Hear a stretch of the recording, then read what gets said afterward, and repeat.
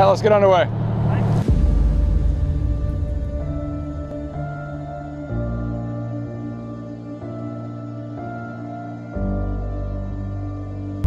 So I've been in the Coast Guard for 22 years. Uh, originally joined the Coast Guard to save lives.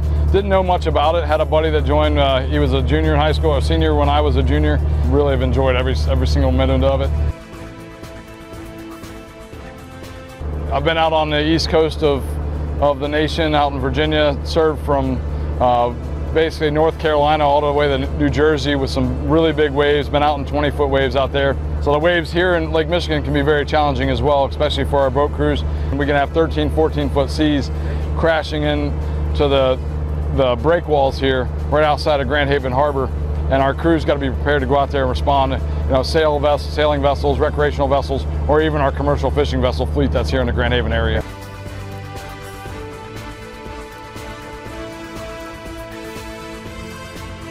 Why the Coast Guard? The Coast Guard, really for me personally, is because it's family. Uh, every single person in our unit, it feels like it's more of a family. So I have two families. I have, you know, my, my family at home and then my extended family in the Coast Guard.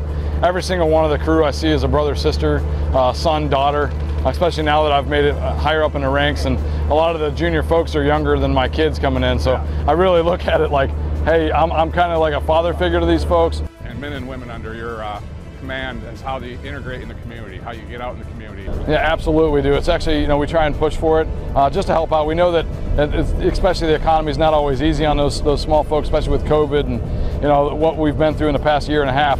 So we're here to help, and, and, you know these small businesses, especially in the Grand Haven waterfront. You know, yeah. you got all your places there. We go get you know ice cream, and you go into your local restaurants to get you know dinners with our families. It really kind of brings in that whole mesh. And the best part about his job's camaraderie, uh, getting to go to different communities and meeting people from all over the place. I got friends in every state I've been stationed in, and it continues to be that way. Lifelong friendships. Lifelong friendships too, absolutely. You know, you can go golfing with somebody, you go fishing with somebody, you learn, you go hunting with them, you know, in these communities, and it's just amazing because you build these strong relationships with the folks in the community, not just the folks in the Coast Guard. Those little things that you get to do that and I get to do it all over the world, yeah. you know, all over the nation, not just in one spot.